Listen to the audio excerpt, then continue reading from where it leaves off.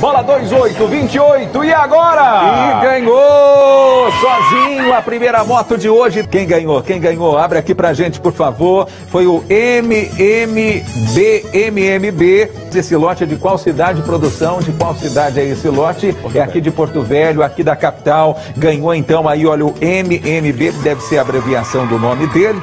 A primeira moto fica aqui na capital, então, certinho? Será que é esse? Tem o 5, tem o 8, é o 58, é o 58. E ganharam sortudos, duas pessoas conseguiram fechar aí as 20 dezenas ao mesmo tempo. A quem pertence, de quem é esse Rondon Cap é do Eduardo Rafael. Ele é de onde? Cacoal, lá do bairro Teixeirão. Dá parabéns, Eduardo Rafael, levando 5.500 reais para casa, metade da moto, metade dos 11 mil. Quem também ganha um selo no Rondon Cap digital. Um ganhador no físico e outro no digital é o Luiz Celestino Holanda. Ele é de Porto Velho, do bairro Nossa Senhora das Graças. Parabéns, selou.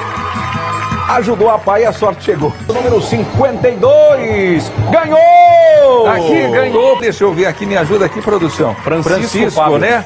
É a abreviação de Francisco Fábio ali de Porto Velho, mais uma moto ficando aqui na capital. Vamos lá, mais um, é o número 3. Acabou de sair do Globo, número 3. E pessoa só! Ô louco, meu! adorei, adorei. Vamos lá, vamos aqui, ó. João Paulo R.